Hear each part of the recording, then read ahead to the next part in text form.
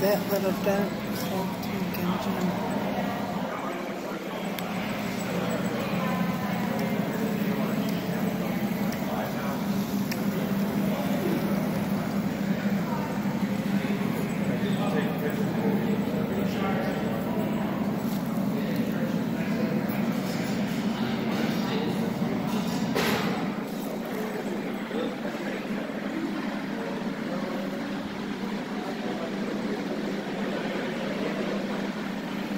wait for you to actually